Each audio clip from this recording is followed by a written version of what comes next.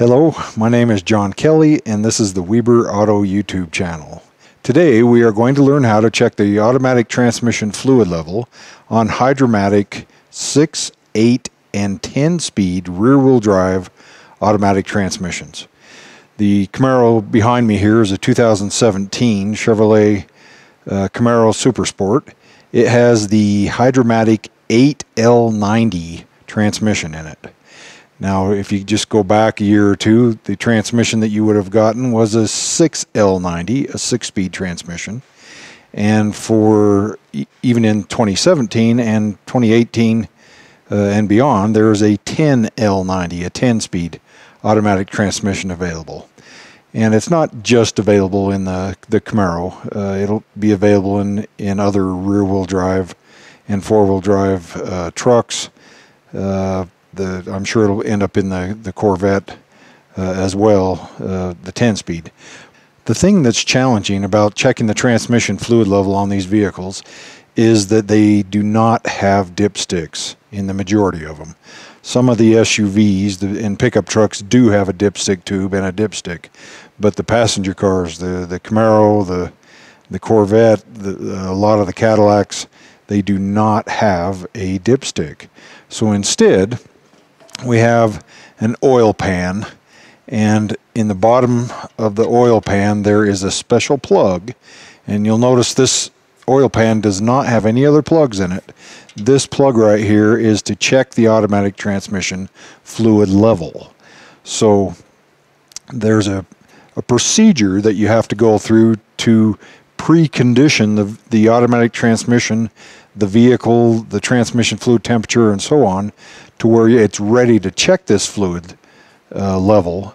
Uh, and of course, the engine must be running to do that. Do not take this out with the engine not running, uh, because you'll you'll lose a lot of fluid uh, out of the transmission that you want to have back in there. And putting the fluid back in is quite a challenge uh, on these if you don't have the uh, proper tools to do it. So inside of this transmission pan, as you can see here, there's this stand pipe, and it sticks up above the top of the transmission oil pan uh, gasket area, which, by the way, the the rubberized uh, metal gasket that goes on here is reusable. Uh, in the service information, it says that if the gasket is stuck to the pan or stuck to the case, then it's not reusable and you must replace it. Um, otherwise, it's it's reusable. Uh, I don't understand the logic of that unless uh, maybe during removal you bend it or damage it somehow, uh, which would it would need to be replaced anyway. All right, so we are going to learn how to precondition the vehicle. It doesn't matter if it's a six-speed, a eight-speed, or a ten-speed uh, transmission without the dipstick on GM uh, products, and then you're going to take out the transmission fluid level check plug. Looks just like this, has a little rubber seal on it. it this is only tightened to less than 8 foot-pounds. It's 80 inch-pounds.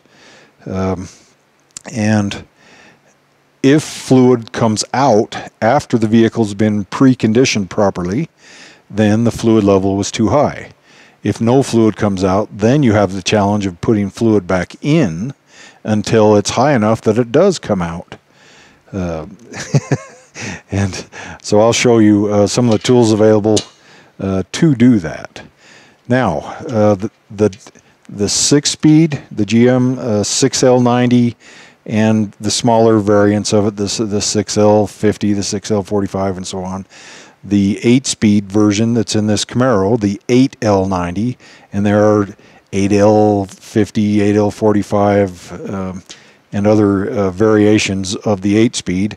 And the 10 speed will have the same thing, the 10L90 automatic transmission. They are all checked the same way. The location of this straw or standpipe and how tall it is is different in the 6, 8, and 10 speed uh, automatic transmissions.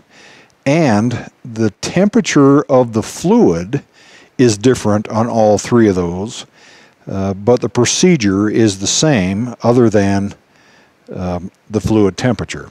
So if you were checking the fluid level on a six speed uh, 6L90 Hydra-Matic transmission or any variation of that, the transmission fluid temperature must be between 86 degrees Fahrenheit and 122 degrees Fahrenheit.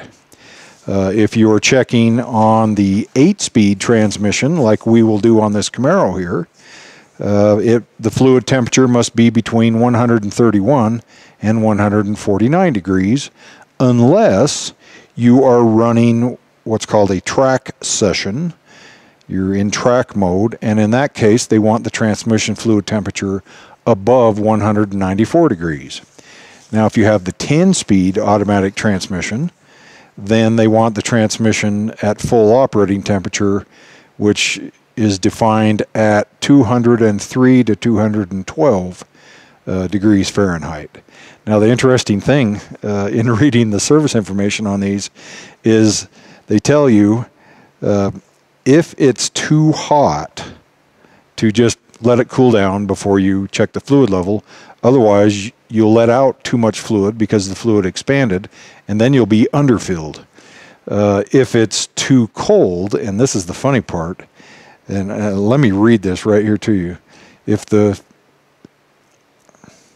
if the transmission fluid temperature, as read on a scan tool, is lower than the, the temperature range, either idle or brake torque, brake torque, the vehicle to raise the transmission fluid temperature. Now, idling, I can understand that. Going out and driving it to warm it up, but I, I can understand. But brake torquing, brake torquing is when you step on the brake, put the transmission in drive, and step on the, the, the gas pedal. Uh, that's a, I can't believe they even have that in the service information. That's a good way to overheat a, a torque converter uh, very quickly. Uh, I, I sure hope they take that out. Uh, for all of you guys that get the idea that you can brake torque a transmission to warm up the fluid, you better not do that for more than like 10 seconds uh, at a time and then let it cool down for a couple of minutes in between. Uh, from what I've uh, seen and learned in the past, the internal fluid temperature inside that torque converter can raise 10 degrees Fahrenheit per second. So a 10 second brake torque can increase the fluid temperature 100 degrees Fahrenheit inside the torque converter. And if you keep doing that uh, longer than 10 seconds, 10 to 15 seconds, you are running a huge risk of overheating the fluid in the inside of that torque converter, which of course will uh, there's a potential of melting uh, plastic and nylon derivative type parts inside the transmission oil pump, the torque converter, the rest of the transmission. Uh, it's just a really bad idea. So don't do that. All right. We are going to precondition this 2017 Camaro Super Sport uh, behind us and check the fluid level. And once again, the procedure is exactly the same on the 6 speed, the 8 speed, and the 10 speed for preconditioning, uh, other than what fluid temperature do you bring the fluid to before you remove the fluid level check plug. All right, now uh, there's one other thing that we need to discuss, and that is transmission fluids. If you have a six speed GM automatic transmission, then it takes the Dexron, and that's spelled D E X R O N. There's no T in there for you guys that think it's Dextron. Dexron 6 automatic transmission fluid. That's for the six speed automatic transmissions. All right, when you move to the eight speed transmission, that's in this Camaro here behind us, it calls for Dexron HP, the high performance uh, fluid. And then there's a service bulletin that says if you have a torque converter clutch shudder, that you are supposed to go get Mobil 1, and not just any Mobil 1 fluid. This has to be the Mobil 1 LV for low viscosity ATF HP. It must be this fluid and no other fluid. Now, this fluid can replace the Dexron HP in the 8 speeds, but this was uh, specifically called for if you have a torque converter clutch shudder issue that uh, was in existence from the 2016 through 17 in certain VIN number or up to a certain VIN number cutoff. So two different uh, possible fluids for the 8 speed. If you have the 10 speed automatic transmission, then don't put any of those other fluids in there. It calls for the Dexron ULV, which is ultra low viscosity fluid. And if you put any other fluid in that transmission, there's a strong possibility that you'll cause damage to it. That transmission was designed for this specific fluid specification. So keep in mind which fluid you're going to put back in. So three different fluids for three different uh, transmissions. Uh, but let's get going on the transmission fluid level uh, check procedure. So on this eight speed transmission in the Camaro here, the, uh, the procedure is to hook up a scan tool and monitor the transmission fluid temperature. Now I've hooked up a scan tool and the temperature in the shop right now is 84 degrees. Uh, now this is read right off of the transmission fluid temperature in sensor inside the transmission. Uh, for those of you who use an infrared uh, temperature uh, gun, you you might want to compare the transmission fluid temperature sensor reading on the scan tool to what your infrared gun is reading. If they're very very close, then that's a good and good indication that you can use it. Uh, but if they're off, which a lot of times they are because those infrared guns may not work well on a shiny surface uh, like a transmission oil pan, especially if it's painted gloss black. Uh, so uh, that may not be a ac good accurate way of doing it. So we're, we're going to watch the transmission fluid temperature as step one. We are going to start and idle the engine. We're going to put the transmission or step on the brake pedal and put the transmission in gear and run it through each gear range. So park, reverse, neutral, drive, low, and whatever other uh, gear ranges there may be. Pausing for at least three seconds in each gear range and then put the transmission back in park. The engine RPM must be between 500 and 800 RPM to perform this check and then let the engine idle for at least one minute and then raise the vehicle on a hoist. The hoist must be level with the engine running and, and the transmission shift lever in park and then watch the transmission fluid temperature. Once that temperature of the fluid, not, not the engine coolant temperature, uh, once the transmission fluid temperature uh, on this Camaro is between 131 and 149 degrees Fahrenheit, then remove the check plug. And if fluid comes out, then it was overfilled and just let it drain until it quits uh, dripping. If no fluid comes out, add fluid until it does. Um, also look at the, the fluid condition, make sure it's uh, not really dark, dark uh, brown or black and that it doesn't smell uh, like it's burnt and that it's not contaminated or, or milky, uh, looking like it might have uh, coolant uh, mixed in with it. And then when you're all done, you put the plug back in and tighten it to the 80 inch pounds, not foot pounds, 80 inch pounds, which is just a little under 8 foot pounds. All right, well, we are going to set this Camaro up and do that right now.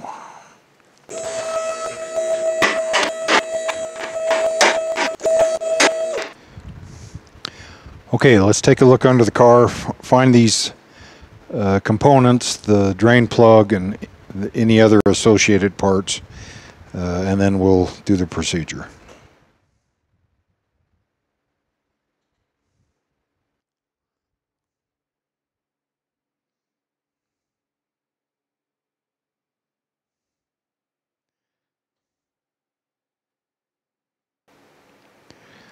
All right.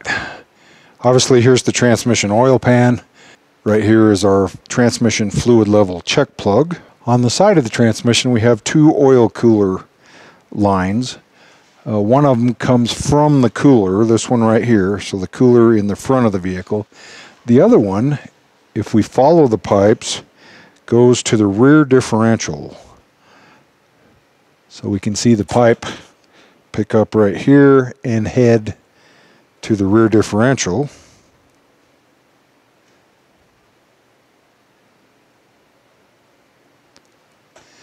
So here comes the fluid from the transmission, goes through a heat exchanger in this 8.8 uh, inch uh, rear differential, and then goes out through this other pipe down the right hand side of the vehicle.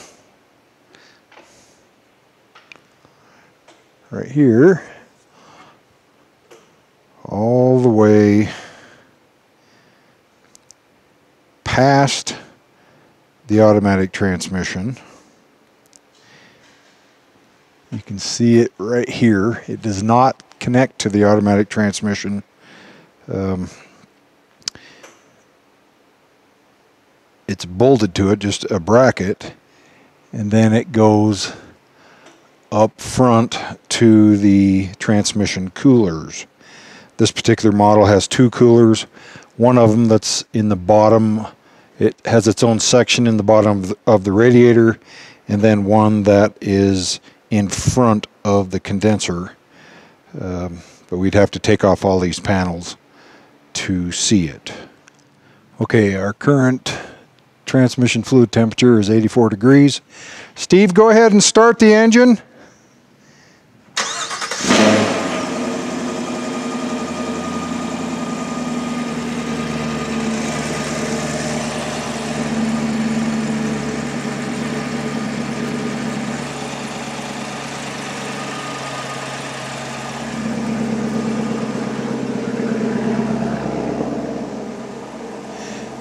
Okay, go ahead and put it, run it, take it from park to reverse, neutral. Three seconds in each one.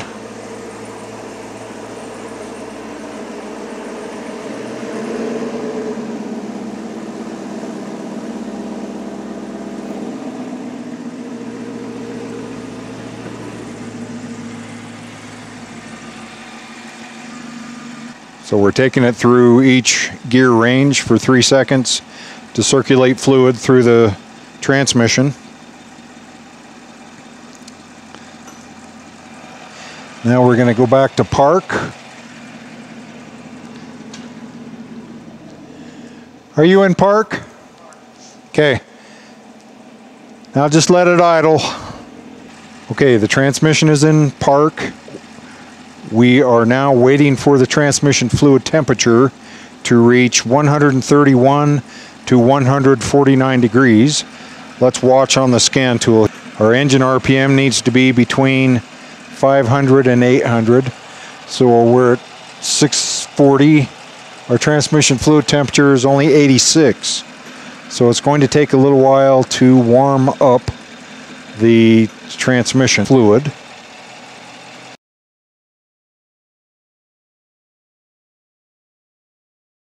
All right, we are at 131 degrees.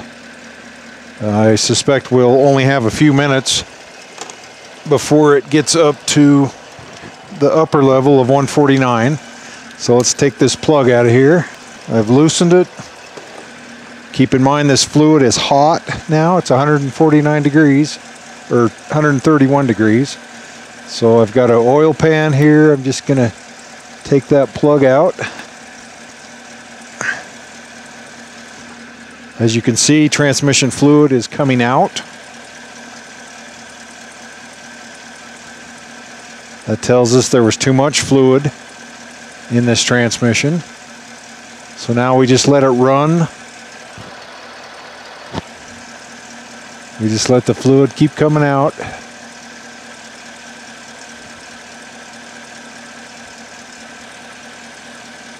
Until it slows to a drizzle. It's a very small hole that it comes out of, so it can take a little while to drain everything out.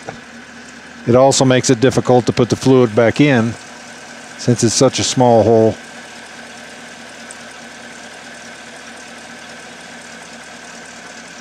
All right, we're getting almost there.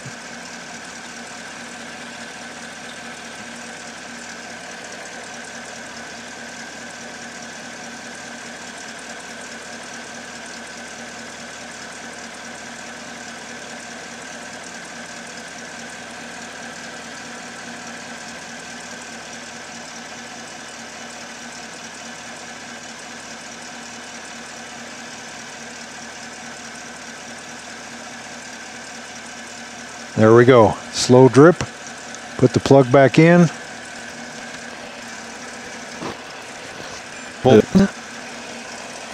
There we go. And we've now adjusted the fluid level on this 8-speed uh, transmission properly. Now, if the fluid level was too low, no fluid would have come out when we took that plug out of there. And in that case, we would have to add fluid. So let's talk about how to do that next. Okay, if your transmission fluid level was too low when you took the, the plug out, the fluid level check plug, at the proper temperature for your 6, 8, or 10 speed rear wheel drive Hydra-Matic transmission, then you have to add fluid to the transmission until it does come out of this drain plug uh, fill, or fluid level check plug. Uh, there are two ways to put fluid back inside the transmission. By far the easiest way is to get some sort of an, of an adapter, take this plug out with the engine running, screw the adapter into there, hook a, a hose to it, and pump fluid uh, up inside of there. Now, the official GM procedure for this is to hook up their cooler flush machine, which comes with an adapter for that hole, and pump fluid up in. Just pump too much fluid up in. Make sure it's the right fluid, though, as we talked about. And then when you take the the hose off, if it was too much fluid, it'll just drip out until uh, the correct level is reached, as long as you have not exceeded the maximum fluid temperature as read on the scan tool. Once again, uh, the infrared gun that I have, the Blue Point infrared thermometer, uh, when I point it directly at the the oil pan right at the end of that procedure, it read right around 99 100 degrees Fahrenheit. The transmission fluid temperature sensor inside the pan read 140.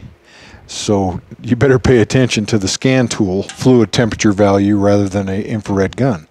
All right, now the second way to get fluid back inside the 6, 8, or 10 speed automatic transmission is on the side of the transmission here. There is a plug, and it's very difficult to get to. It's buried up inside. You've got the exhaust system going past, or a cooler line going past if you have the additional cooler in the rear differential uh, on these Camaros. But this little plug here uh, has two parts. So if you can get in and lift up, I'm going to use a, a door panel trim tool right here, lift up on that centerpiece, that unlocks the rest of the plug and you can attempt from the bottom, you probably have to bend one of these to 90, a 90 degree angle to lift it up and out. So here is the plug.